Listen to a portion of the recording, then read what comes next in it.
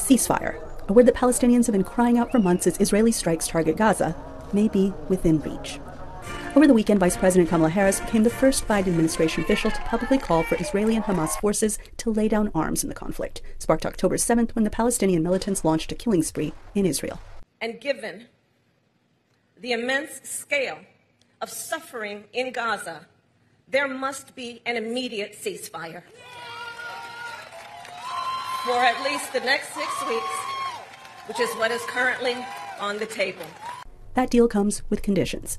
On Monday, White House officials told reporters that Hamas is still mulling Israel's proposal, which includes the release of hostages. The administration declined to discuss details of negotiations. But this debate over Gaza's fate is very public. On Monday, as Harris met with a member of Israel's war cabinet, a small clutch of protesters gathered outside the White House to voice their discontent.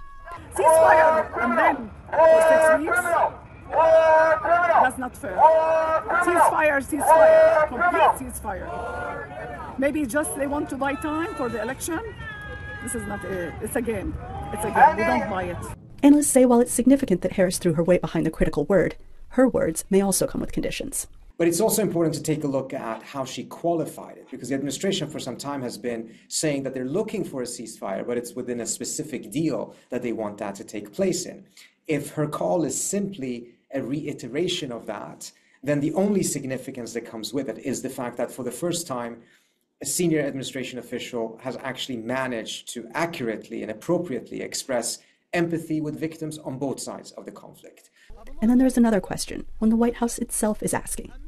Will Hamas, which the U.S. has designated as a terror group, take the deal to stop an assault that has killed tens of thousands of civilians. The demands that have been expressed so far by the administration, which is the release of all hostages in return for a six week ceasefire, I find unlikely to be accepted by Hamas because they're essentially giving up all their leverage for only a temporary uh, uh, end in the fighting rather than a more permanent state.